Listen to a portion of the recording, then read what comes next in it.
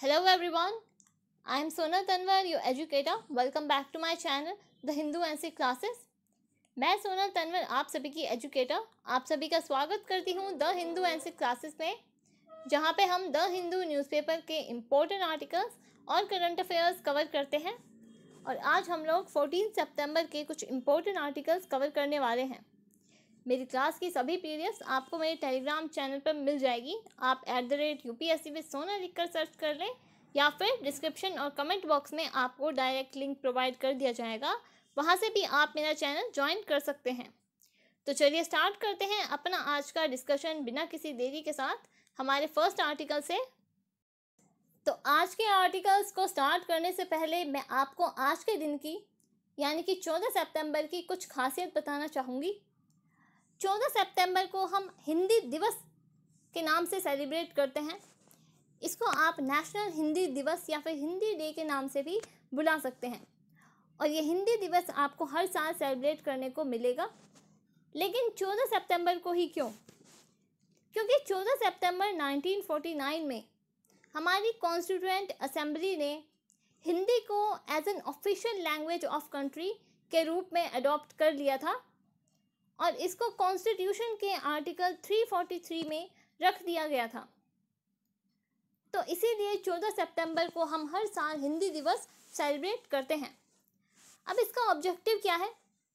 कि हिंदी लैंग्वेज को और उसके कल्चर को, उसके हेरिटेज को, उसकी वैल्यूज़ को पूरी कंट्री में और अब्रॉड में पीपल रिकॉग्नाइज करें पीपल सेलिब्रेट करें और जाने कि हमारी जो हिंदी लैंग्वेज है, वो कितनी रिच है उसमें क्योंकि हमारी हिंदी लैंग्वेजेस सिर्फ़ एक लैंग्वेज से मिलकर नहीं बनी है।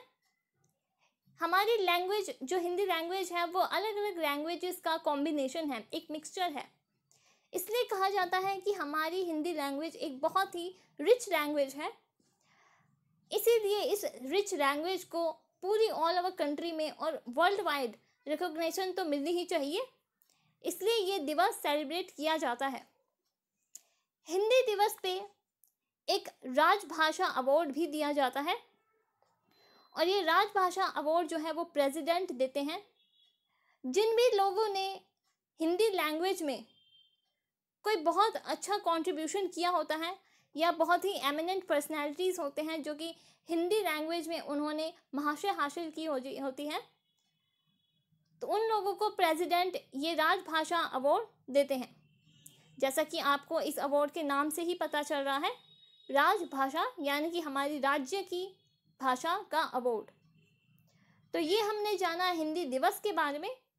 अब स्टार्ट कर लेते हैं अपने आर्टिकल्स तो बात कर लेते हैं हम अपने फ़र्स्ट आर्टिकल की। हमारा फ़र्स्ट आर्टिकल बात कर रहा है Singapore convention on mediation comes into force context ये है कि United Nations convention on international settlement agreements resulting from mediation ये अब फोर्स में आ चुका है, यानी कि ये अब बाकी कंट्रीज़ पे लागू हो चुका है, जिन्होंने भी इसको रेक्टिफाई किया होगा उनके ऊपर। अब इस यूनाइटेड नेशन कन्वेंशन में होगा क्या?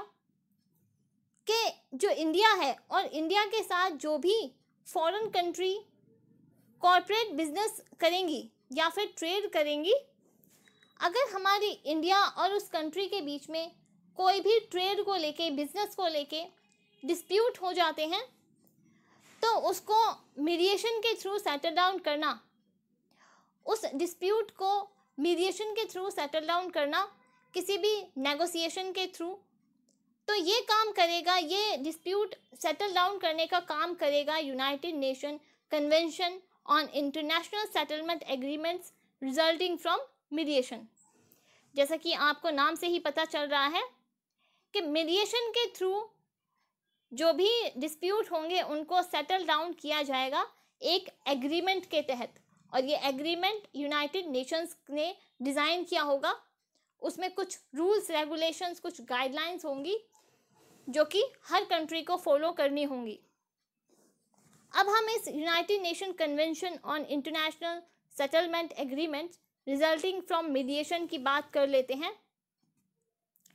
देखो ये कन्वेंशन जो है, वो अडोप्ट तो 20 दिसंबर 2018 में ही कर दिया गया था यूनाइटेड नेशन जनरल असेंबली के द्वारा। लेकिन इसको ओपन किया गया सात अगस्त 2019 को सिंगापुर में। इसीलिए इस कन्वेंशन का नाम हम सिंगापुर कन्वेंशन ऑन मीडिएशन भी कह सकते हैं। तो अगर क्वेश्चन आपका प्रीलिम्स में बने कि सिंगापुर कन्वेंशन ऑन मीडिएशन क्या है? और आपको यूनाइटेड नेशन के कुछ कन्वेंशंस के नाम आ आ जाएँ तो आपका जो ऑप्शन होगा, वो होगा United Nation convention on international settlement agreement resulting from mediation. या फिर शॉर्ट फॉर्म में आप इसको बोल सकते हैं कि इंडिया जो भी foreign countries business corporate business करेंगी या फिर ट्रेड करेंगी उसके बीच में अगर डिस्प्यूट हो जाता है तो ये कन्वेंशन उस डिस्प्यूट को मीडिएशन के ज़रिए सेटल डाउन करने की कोशिश करेगा। अब यूएन की फ़र्स्ट ट्रीटी है ऐसी जो कि सिंगापुर के नाम पर बनी है। इससे पहले कोई भी ऐसा कन्वेंशन नहीं है जो कि सिंगापुर के नाम पे बना होगा तो ये आपके लिए एक यूनिक चीज़ हो जाती है। ये आपको याद रखना इम्पोर्टेंट है। अगर हम इंडिया की बात करें तो इंडिया ने इसको जुलाई 2019 में ही साइन कर लिया था। और अगर हम रिसेंट की बात करें अगर हम एक सितंबर 2020 से देखें तो एक सेप, एक सितंबर 2020 से 53 कंट्रीज़ ने इससे साइन कर लिया है इंक्लूडिंग चाइना एंड यूएसए तो ये कुछ बातें आपको इस सिंगापुर कन्वेंशन ऑन मीडिएशन के ऊपर याद रखनी है। तो अब हम जान लेते हैं इस कन्वेंशन के कुछ सिग्निफिकेंस, यानी कि इसके कुछ इम्पोर्टेंस के बारे में। ये कन्वेंशन प्रमोट करता है मीडिएशन को। जैसा कि मैंने बताया, किन्हीं भी कंट्रीज़ के बीच में अगर बिज़नेस को लेके या ट्रेड को लेके कॉन्फ्लिक्ट पैदा हो जाता है डिस्प्यूट पैदा हो जाता है तो इस कन्वेंशन का काम है कि मीडिएशन के तहत मीडिएशन के ज़रिए उस डिस्प्यूट को सेटल डाउन किया जा सके। अब क्या होगा, जब मीडिएशन के तहत ही सारे डिस्प्यूट सेटल डाउन हो जाएँगे तो इंटरनेशनल ट्रेड प्रमोट होगा। सारी कंट्रीज़ आपस में मिलके, एक दूसरे की कंट्रीज़ में इन्वेस्ट करेंगी, एक दूसरे की कंट्रीज़ में ट्रेड करेंगी तो इससे इंटरनेशनल ट्रेड ओवरऑल इम्प्रूव होगा। अगर हम स्पेसिफिकली इंडिया की बात करें तो इंडिया के लिए क्यों ये कन्वेंशन इतना इम्पोर्टेंट है? अगर इंडिया को अपनी इकोनॉमी डेवलप करनी है तो इंडिया को बाकी कंट्रीज़ के साथ में अपने ट्रेड रिलेशन अच्छे रखने की बहुत ज़रूरत है। अगर दूसरी कंट्रीज़ से इन्वेस्टर आके हमारी कंट्री में इन्वेस्ट करेंगे, हमारी कंट्री में ट्रेड करेंगे तो हमारी कंट्री का एक्सपोर्ट बढ़ेगा, हमारी कंट्री में इन्वेस्टमेंट ज़्यादा होगी इन्वेस्टमेंट ज़्यादा होगी तो हमारे पास फॉरेक्स रिज़र्व ज़्यादा आएगा। और इससे हमारी ओवरऑल इकोनॉमिक जो डेवलपमेंट है वो इम्प्रूव होगी। तो अगर हमें अपनी इंडिया की जो इकोनॉमी है उसको डेवलप करना है तो ये बहुत ज़रूरी है कि इंडिया अपने जो भी नेबरिंग कंट्रीज़ हैं और जो भी बाकी कंट्रीज़ हैं उनके साथ अपना रिलेशन अच्छा रखे। और इस कन्वेंशन से एक और चीज़ होगी कि जो ease of doing business report है उसमें हमारी इंडिया की रैंकिंग और भी ज़्यादा इम्प्रूव हो जाएगी, क्योंकि जो फॉरेन इन्वेस्टर्स हैं, उस, उनको एक पॉजिटिव सिग्नल मिलेगा, उनके मन में एक कॉन्फिडेंस आएगा, एक सिक्योरिटी आएगी कि इंडिया में इन्वेस्ट करना बेनिफिशियल है, हमें कोई लॉस नहीं होने वाला, क्योंकि अगर लॉ अगर इंडिया इस कन्वेंशन का पालन नहीं करता है, इसको अध्ययन नहीं करता है तो हम कहीं पर जाके कंप्लेंट कर सकते हैं। तो इसीलिए फॉरेन इन्वेस्टर्स के मन में भी एक सिक्योरिटी रहती है, जिससे हमारे इंडिया में और भी ज़्यादा इन्वेस्टर्स आएँगे, वो हमारी कंट्री में और भी ज़्यादा इन्वेस्टमेंट करेंगे।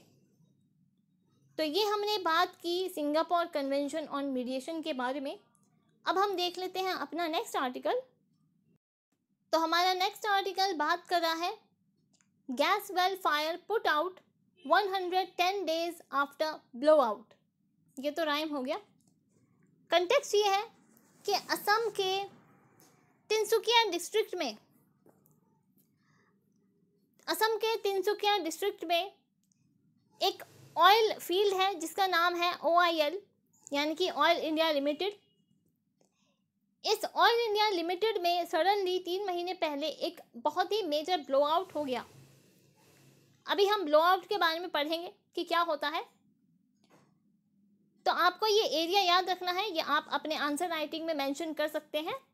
असम के तिनसुकिया डिस्ट्रिक्ट के पास ओआईएल फ़ील्ड में एक बहुत ही मेजर ब्लो आउट हो गया।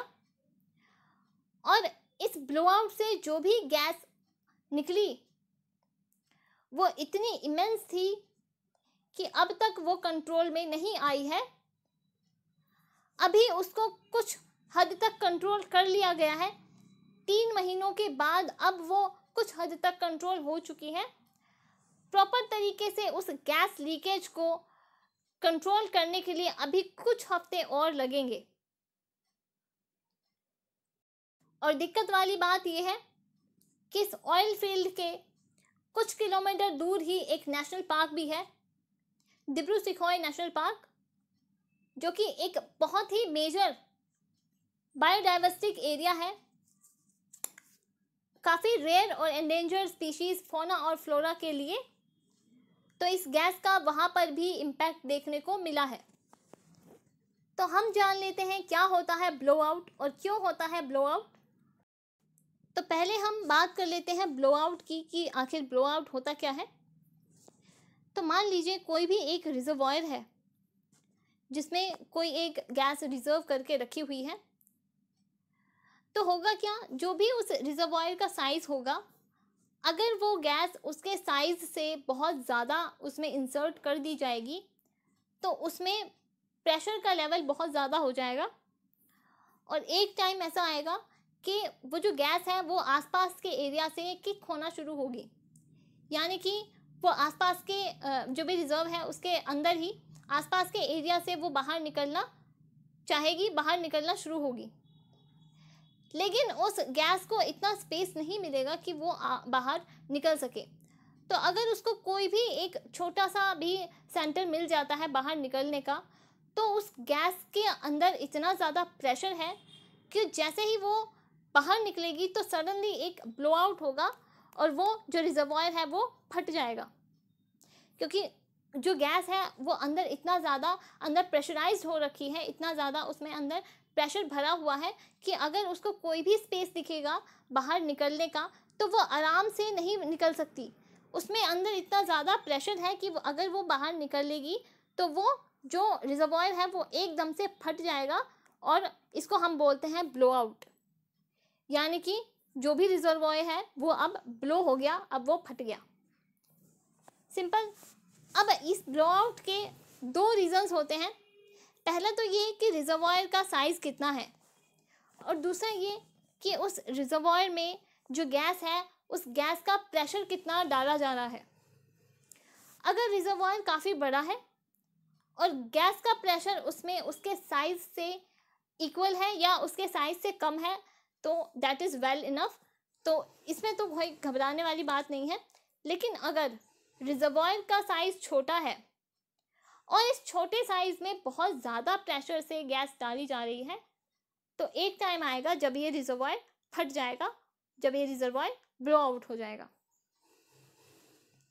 तो ये दो चीज़ होती हैं जो कि डिपेंड करती हैं कि ब्लो आउट कैसे होगा। अब ब्लो आउट होने के काफ़ी सारे रीजंस हो सकते हैं। सबसे मेन रीज़न होता है लैक ऑफ़ वर्कमैनशिप या फिर लैक ऑफ़ मेंटेनेंस क्योंकि एक तरीके से लैक ऑफ़ फ़ील्ड एरिया भी आप बोल सकते हैं क्योंकि जो रिजर्वॉइस हैं उनकी कैपेसिटी कम है और आपको गैस ज़्यादा रखनी है, आपके पास एरिया इतना नहीं है। इसलिए आप कम टैंकर्स में, कम रिजर्वाइज में गैस को ज़्यादा इंसर्ट करने की कोशिश करते हैं। जिससे कि ये जो डिज़ास्टर है वो अकर होते हैं। तो कुछ रीजंस हैं, जैसे lack of attention poor workmanship और bad maintenance old age old age यानी कि रिजर्वायर अब इतना ज़्यादा अच्छा नहीं रहा है, उसकी क्वालिटी डिग्रेड हो गई है। और अगर आप उसमें गैस रखेंगे तो ऑब्वियसली उसका जो मटेरियल है रिजर्वायर का वो वीक हो चुका है। तो इट इज़ नॉट सेफ़ कि उसमें गैस को रखा जाए, क्योंकि ब्रो आउट होने के चांसेस बहुत ज़्यादा बढ़ जाएँगे। और जैसा कि कोई भी टेक्टोनिक फैक्टर्स होते हैं अर्थक्वेक आया तो जो अंदर गैस है, उसमें कुछ तो इफ़ेक्ट आएगा उस अर्थक्वेक से लेके। तो ये भी एक फैक्टर है कि जो टेक्टोनिक प्लेट्स आपस में कोलिजन करती हैं, आपस में टकराती हैं, उससे जो अंदर की गैस है वो डिस्टर्ब हो जाती है, जिससे ब्लो आउट होने के चांसेस बढ़ जाते हैं। तो ये मैंने आपको बताया क्या होता है ब्लो आउट और किन किन चीज़ों पर डिपेंड करता है ब्लो आउट? पहला, उसका रिजर्वायर का साइज़ कितना है?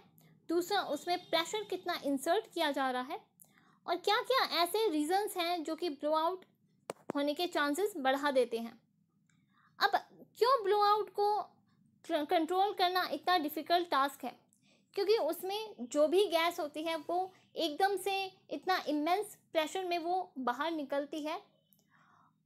तो इन्वामेंट में वो गैस फैल जाती है और गैस को कंट्रोल करना काफ़ी डिफ़िकल्ट काम होता है, क्योंकि उसमें फायर लगने के चांसेस काफ़ी ज़्यादा बढ़ जाते हैं। तो इसलिए इसको कंट्रोल करना इतना डिफ़िकल्ट होता है। तो अब हम बात कर लेते हैं डिब्रू शिखोए नेशनल पार्क की। डिब्रू शिखोए नेशनल पार्क असम के तिनसुकिया डिस्ट्रिक्ट से अप्रॉक्सीमेटली 900 मीटर की दूरी पर है। और ये जो नेशनल पार्क है, ये रेयर और एंडेंजर स्पीशीज़ जो कि फ्लोरा और फोना की है, वहाँ का बहुत ही अच्छा हॉटस्पॉट माना जाता है। यहाँ पर 36 स्पीसीज़ जो है, वो मैमल की पाई जाती हैं और नियरली 400 स्पीशीज़ ऑफ़ बर्ड्स की पाई जाती हैं। तो ये आपको कुछ चीज़ें याद रखनी है डिब्रू शिखोई नेशनल पार्क के बारे में। तो ये हमने बात की असम के तिनसुकिया डिस्ट्रिक्ट में ऑयल फ़ील्ड के ब्लोआउट के बारे में। तो आज के लिए बस इतना ही। अब हम मिलेंगे अपने कल के लेक्चर में। आई होप आपको आज की वीडियो अच्छी लगी। अगर अच्छी लगी तो लाइक कर दें। अगर अच्छी नहीं लगी तो डिसलाइक करने का भी पूरा हक है। लेकिन डिसलाइक क्यों किया ये कमेंट बॉक्स में लिखना ना भूलें, ताकि मैं अपनी वीडियोस को और भी ज़्यादा इम्प्रूव कर सकूँ। अगर आपको मेरी वीडियो से कुछ फ़ायदा हो रहा है तो बाकी बच्चों तक भी शेयर कर दें, ताकि उन तक भी मैं अपनी वीडियोस का फ़ायदा पहुँचा सकूँ। So that is all for today thank you so much and have a nice day